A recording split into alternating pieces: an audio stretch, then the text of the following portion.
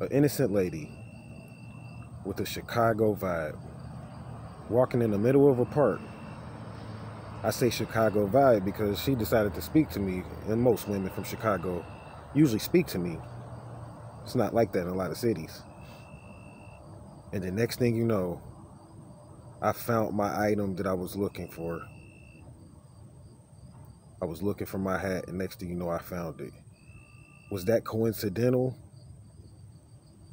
No, because I came back to this area several times and it wasn't there. So either this lady was an angel and a part of a host of angels, and they put my hat there, or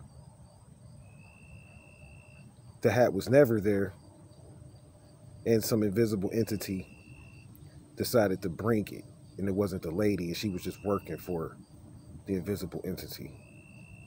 But I would definitely say this is a phase of proving that shit is real, man. You keep your faith in what you want and need, and you will get it. You will achieve it.